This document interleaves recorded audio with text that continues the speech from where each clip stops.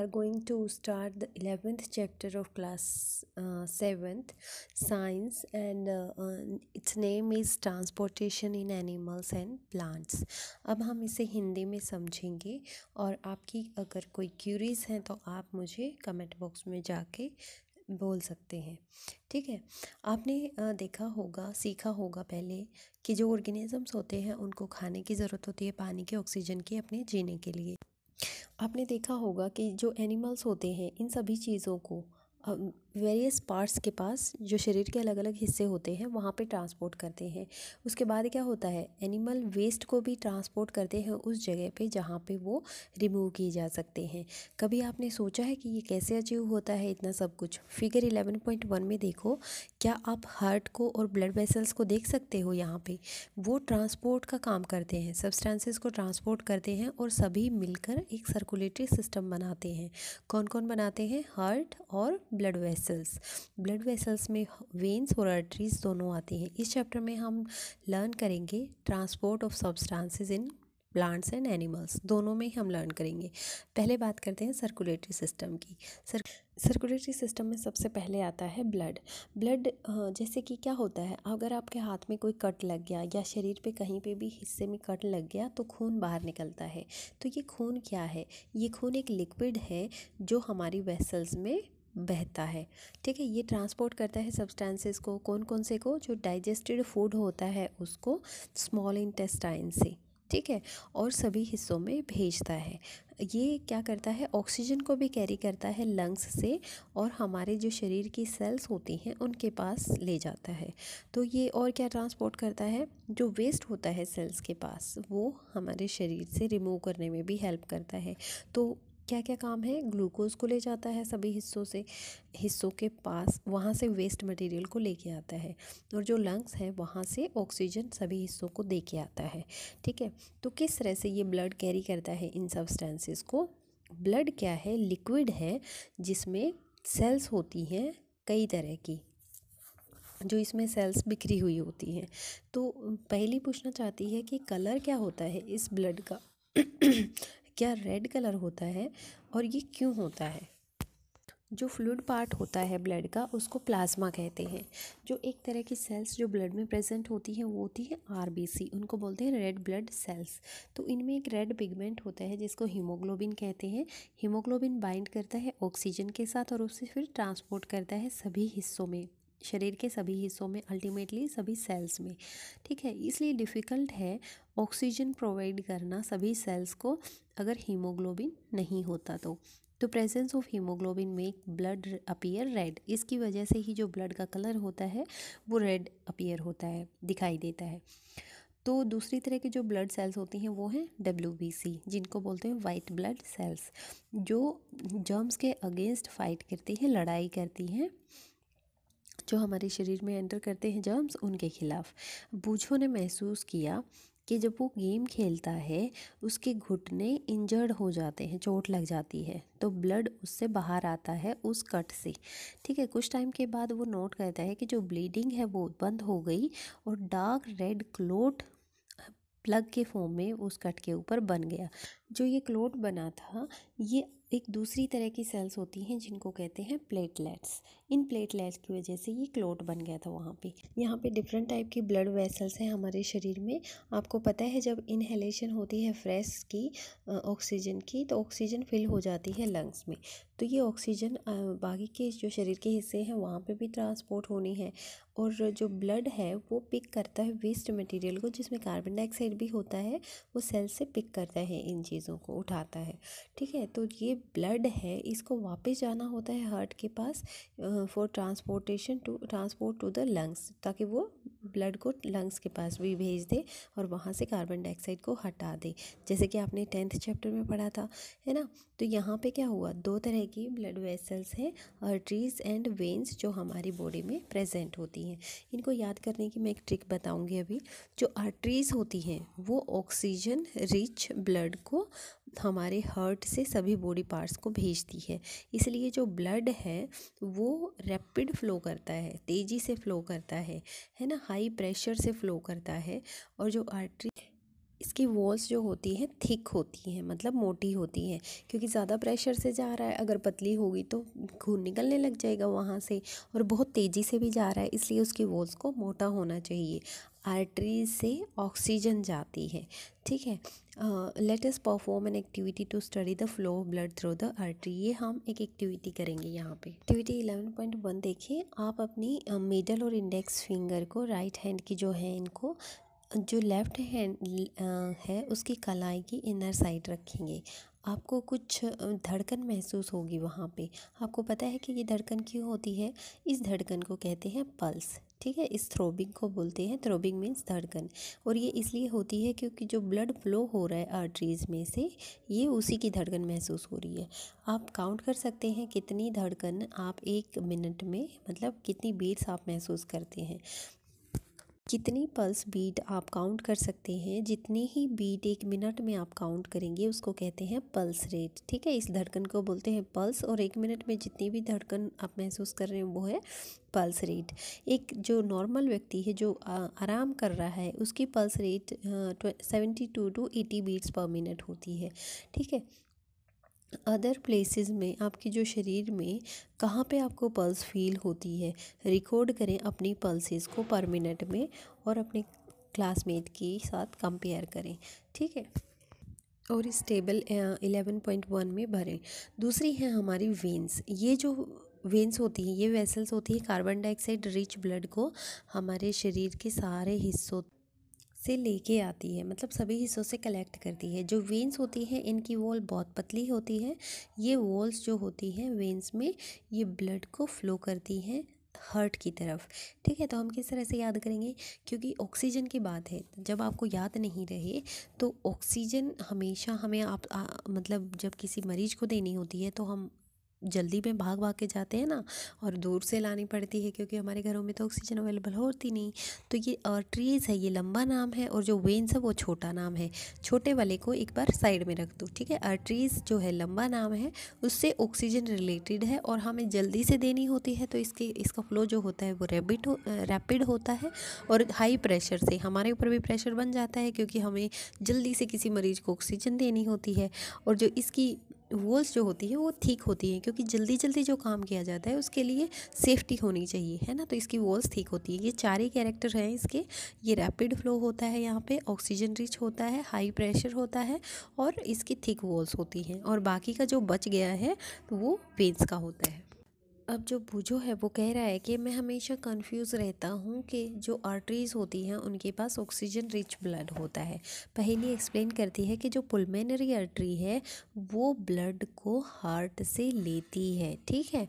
और इसको आर्टरी कहते हैं और ये वेन नहीं है पुलमेनरी आर्टरी ठीक है? ये कार्बन डाइऑक्साइड रिच ब्लड लेती है लंग्स से और जो पुलमेनरी वेन है, ये ऑक्सीजन रिच ब्लड लेती है लंग्स से और हार्ट के लिए।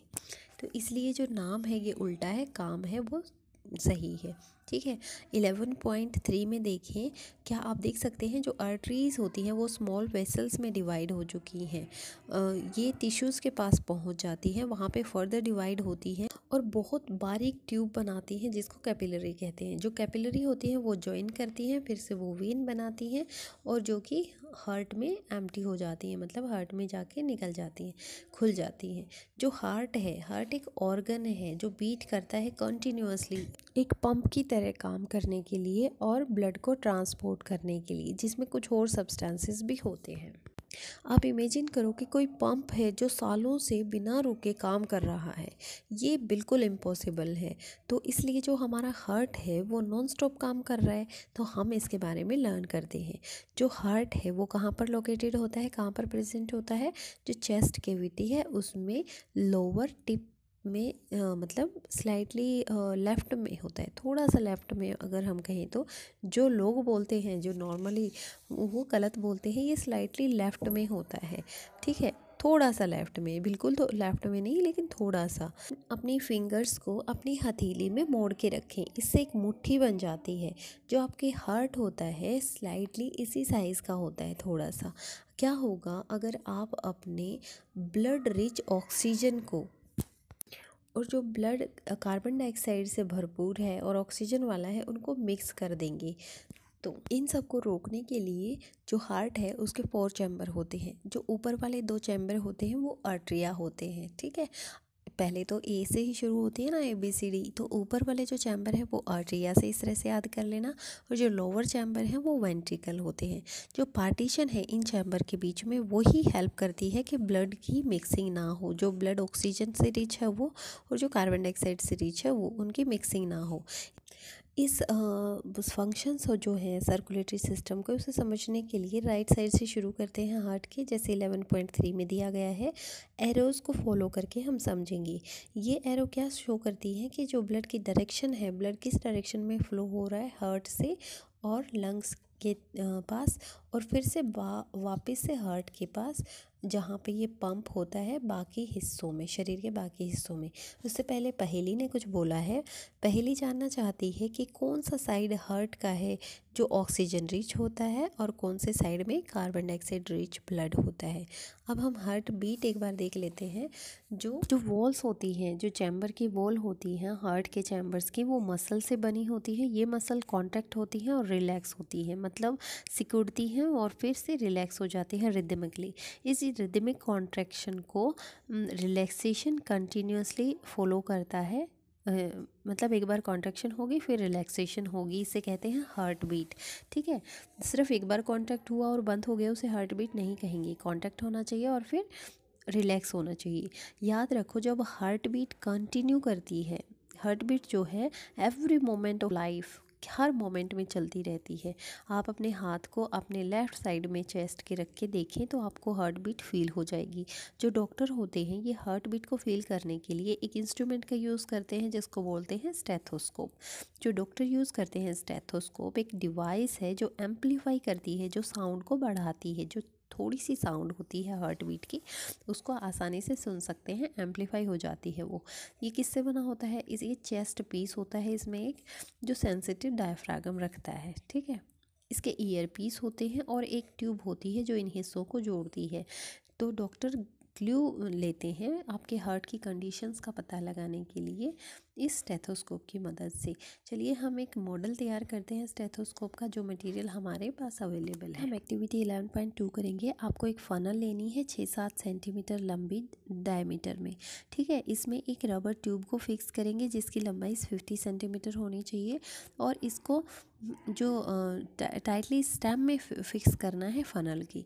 ठीक है? एक रबर शीट को लेके स्ट्रेच करके उस फ़नल के माउथ पे बाँध देना है और टाइटली उसे रबर बैंड से फिक्स कर देना है।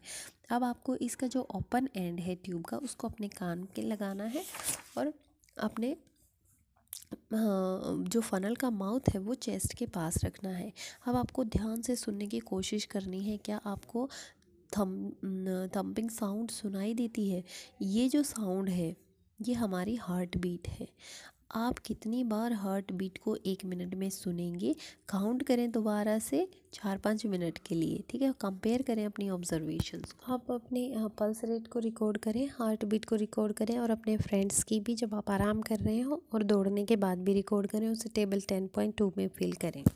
आपको कोई रिलेशंस नज़र आया है जो आपकी हार्ट बीट है और पल्स रेट है उसमें?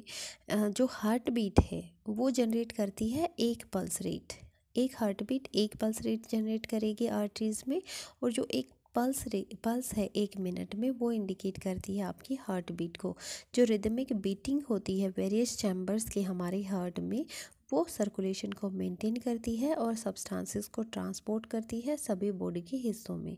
जो बूझो है, वो जानना चाहते हैं, जो स्पंजिस होते हैं हाइड्रा होते हैं, क्या उनमें भी खून होता है? जो एनिमल्स जैसे स्पंजिस हाइड्रा उनके पास कोई सर्कुलेटरी सिस्टम नहीं होता, जो पानी है, जिसमें वो रहते हैं, वही खाना लेके आता है और वही ऑक्सीजन लेके आता है उनके शरीर के लिए। ठीक है, पानी के पास जो वेस्ट मटेरियल होता है, जैसे कार्बन डाइऑक्साइड होता है, वही वो बाहर निकाल देता है और इस तरह से ये जो एनिमल है, इनको सर्कुलेटरी फ्लूड की ज़रूरत नहीं होती, जैसे खून की ज़रूरत नहीं होती। ठीक है? इससे पहले हम आपके लिए नॉलेज वाला बॉक्स खोलते हैं, जो इंग्लिश फिजिशियन थे, जो विलियम हैरी थे, उन्होंने डिस्कवर किया था सर्कुलेशन ऑफ़ द ब्लड जो करंट ओपिनियन है, उन दिनों में ब्लड का उन दिनों में जो था ब्लड का ओसिलेशन था वेसल्स में, हमारी बॉडी में. इस व्यू के लिए हार्वे का बहुत मज़ाक हुआ, उसको सर्कुलेटर बोला गया था. उसने अपना मोस्ट ऑफ़ द पेशेंट्स खो दिया. पेशेंस तो खो दिया था, लेकिन उनके मरने के बाद जो हार्वे का आइडिया था सर्कुलेशन का, वो बायोलॉजिस्ट के द्वारा एक फैक्ट के रूप में एक्सेप्ट कर लिया गया। चलिए अब हम सीखेंगे removal of waste other than carbon dioxide जो कार्बन डाइऑक्साइड को छोड़ के जो और, और वेस्ट होते हैं वो किस तरह से रिमूव किए जाते हैं? एक्सक्रीशन इन एनिमल जो रिमूवल ऑफ़ वेस्ट होता है उस प्रोसेस को बोलते हैं एक्सक्रीशन बाहर निकालना. आप याद करो कि जो कार्बन डाइऑक्साइड है वो वेस्ट की तरह रिमूव होती है हमारी बॉडी से थ्रू लंग्स है ना? लंग्स के से बाहर जाती है वो एक्सहेलेशन होता है एक्सलेशन मतलब ऑक्सीजन अंदर आती है, उसको इनहेलेशन कहते हैं और जो हवा बाहर जाती है कार्बन डाइऑक्साइड को लेके उसको एक्सलेशन बोलते हैं। आप वो भी याद करो, जो अनडाइजेस्टेड फ़ूड होता है, वो इजेशन के थ्रू रिमूव हो जाता है। ठीक है? अब हम पता करते हैं कि किस तरह से की वेस्ट मटेरियल है, वो हमारे शरीर से बाहर जाता है। अब आपको ये जानकर आश्चर्य होगा कि ये मटेरियल है वेस्ट मटेरियल अनवांटेड मटेरियल जिसको कहते हैं, वो कहाँ से आता है? जब हमारी सेल अपना फ़ंक्शंस परफॉर्म करती हैं, ठीक है? तो वेस्ट प्रोड्यूस होता है, जो वेस्ट प्रोडक्ट होते हैं, वो रिलीज़ होते हैं। ये टॉक्सिक होते हैं, इसलिए इनको बॉडी से रिमूव करना होता है। जो प्रोसेस होती है रिमूवल की वेस्ट प्रोडक्ट को हमारी सेल्स में, वो लिविंग ऑर्गेनिज़म में होती है, उसे एक्सक्रीशन कहते हैं। ठीक है? जो पार्ट इन्वॉल्व होता है एक्सक्रीशन में, उसको एक्सक्रीटरी सिस्टम बोलते हैं। जो जो पार्ट जो जो हिस्से इसमें पार्ट लेते हैं। जो ह्यूमन में एक्सक्रीटरी सिस्टम है, उसमें क्या क्या आएगा देखते हैं? जो हमारा एक्सक्रेटरी सिस्टम है ह्यूमन का, उसमें जो वेस्ट प्रेजेंट होता है ब्लड में, वो बॉडी से रिमूव होता है। ये किस तरह से होता है? इसके लिए एक मैकेनिज़्म होता है जो ब्लड को फ़िल्टर करने की ज़रूरत होती है उस मैकेनिज़्म के थ्रू ठीक है? ये किस तरह से होता है? ये किडनी में होता है। किडनी में ब्लड कैपिलरीज होती है, वो ये काम करती हैं। जब हमारा खून किडनी के पास पहुँचता है तो इसके पास दोनों चीज़ें होती हैं यूज़फुल भी और हार्मफुल भी। जो हमारे लिए ज़रूरी है, वो भी और ज़रूरी नहीं है, वो भी।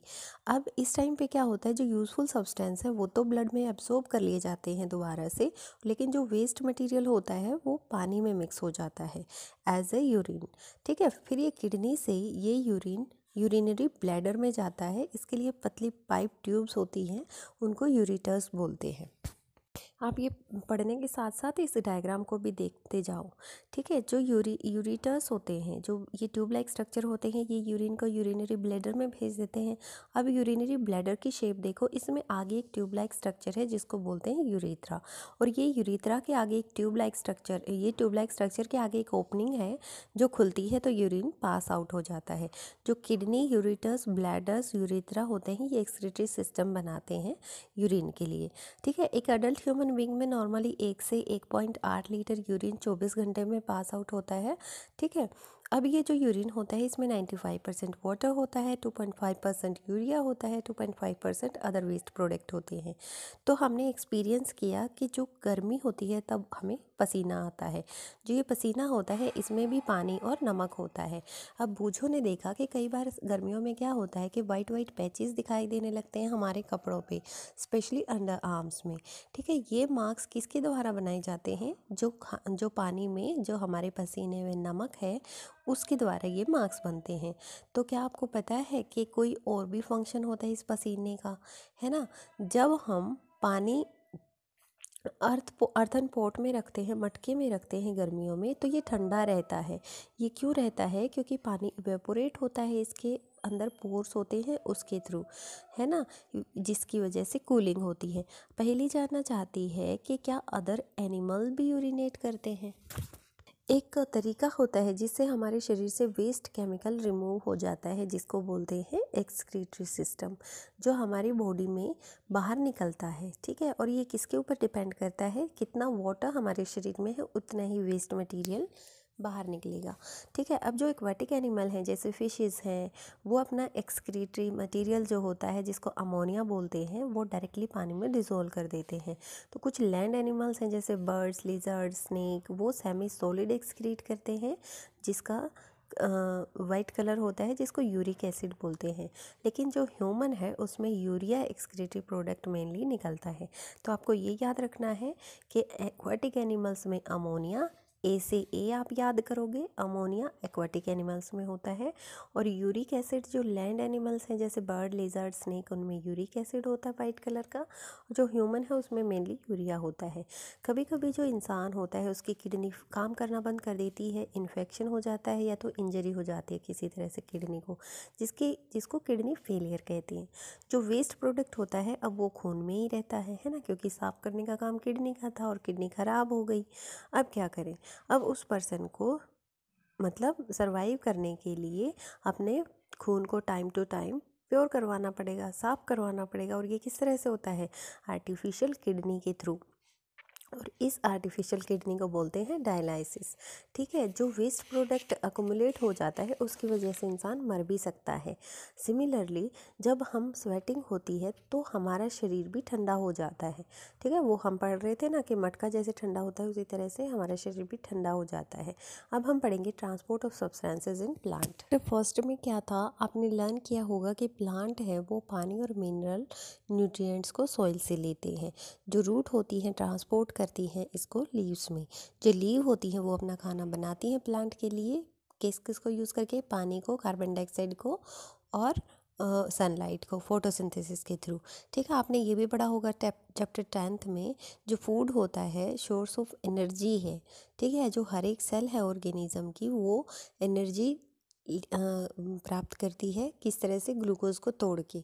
ठीक है, जो सेल्स होती हैं, इस एनर्जी को वाइटल एक्टिविटीज़ में यूज़ करती है, जो बहुत ज़रूरी एक्टिविटीज़ होती है हमारे शरीर के लिए, उनमें यूज़ करती हैं।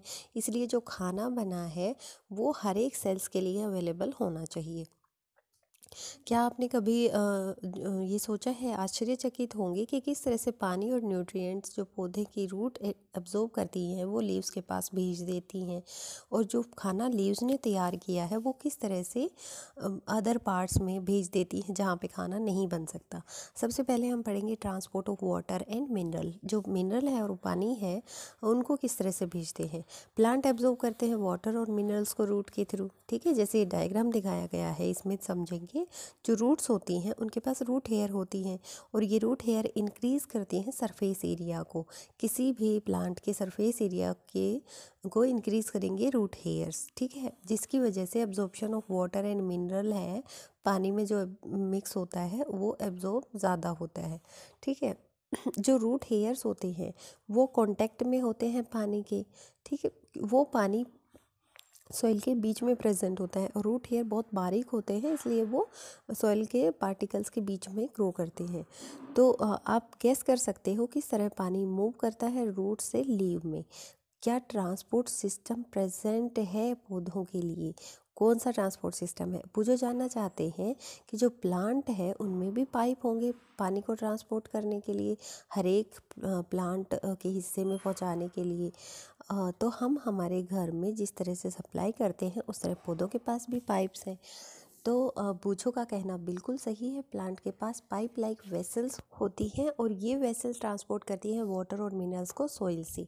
ये वेसल्स होती हैं, ये स्पेशल सेल से बनी होती हैं और इनको वेस्कुलर टिश्यू कहते हैं। ठीक है, ये वेसल्स फिर वेस्कुलर टिश्यू बनाती है। टिश्यू क्या होता है? ग्रुप ऑफ़ सेल्स होता है जो एक स्पेशल फ़ंक्शन परफॉर्म करता है किसी भी ऑर्गेनिज्म में। सेल और टिश्यू का कई बार मैं बता चुकी हूँ और फिर भी दोबारा बता रही हूँ। सेल है वो बेसिक यूनिट है। टिश्यू क्या है? जो ग्रुप ऑफ़ सेल्स है, वो स्पेशल फ़ंक्शन परफॉर्म करते हैं किसी ऑर्गेनिज्म में।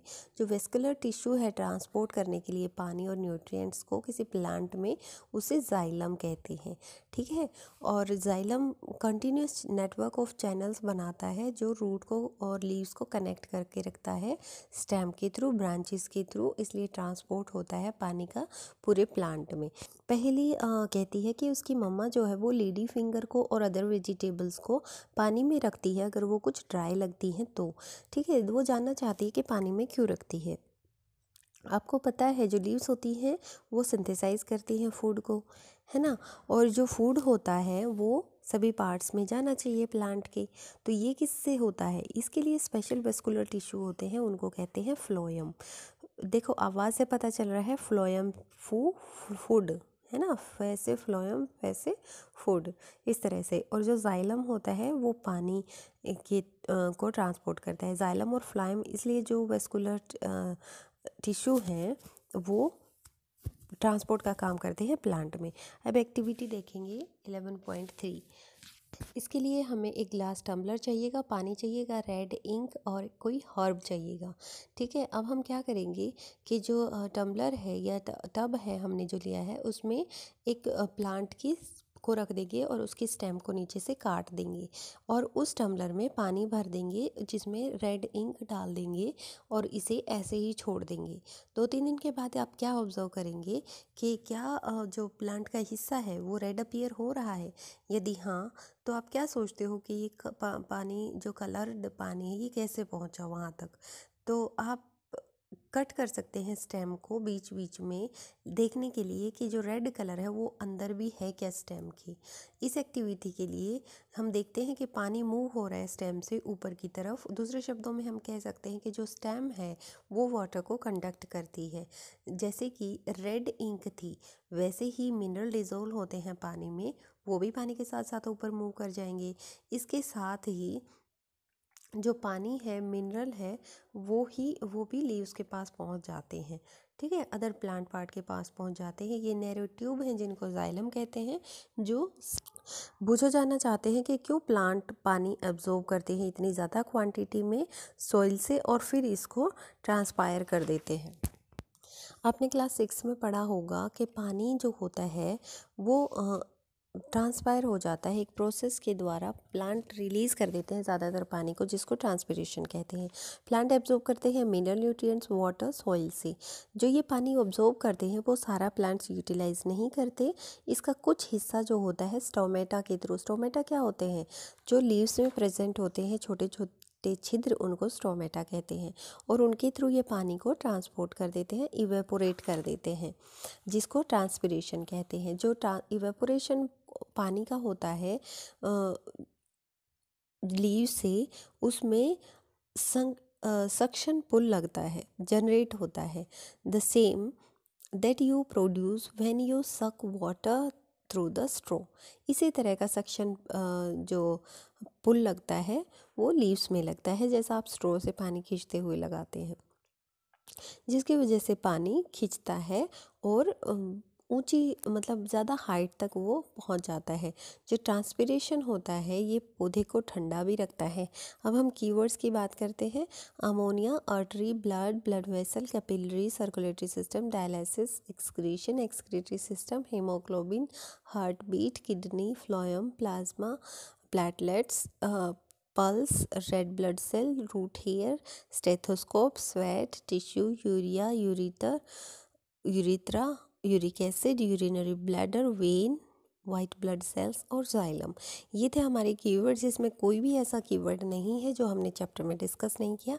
अगर आपको इनमें से किसी की आ, समझने में दिक्कत है तो दोबारा से वीडियो को ज़रूर देखें।